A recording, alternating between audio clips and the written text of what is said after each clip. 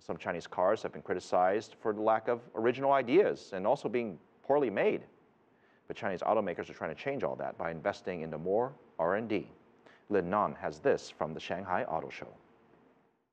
Showcasing the latest and the finest models, Chinese brands are trying to impress people with upgraded design levels.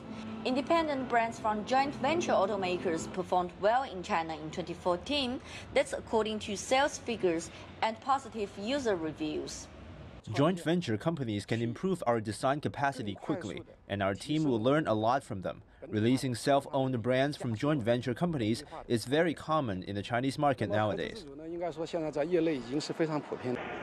Brilliance Autos has three self-owned brands, two of which reported losses last year, but the company says research and development is still its priority.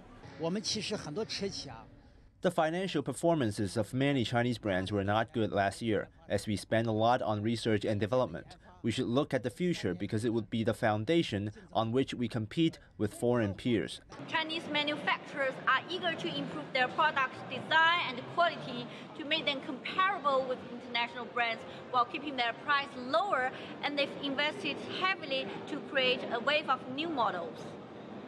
Family cars with modest prices are the main targets for Chinese automakers, but some of the automakers are aiming higher and are getting into the race car market. My design team, they're all Chinese guys. So I gave, basically gave them the assignment to design a car for themselves. I said, if you had a clean sheet of paper and all, a lot of money, I want you to design a car for you, for the Chinese, and I will assist you in, in putting it together. The manufacturers are also working with suppliers to develop new materials to make cars lighter, more fuel efficient, and eco friendly. Aluminum is quickly becoming the material of choice for many applications in the auto industry to reduce the vehicle weight and also boost the fuel economy and also reduce the CO2 emission, of course. Chinese brands are moving to transit from made in China to designed in China in an effort to upgrade the image of Chinese cars. Lin Nan, CCTV, Shanghai.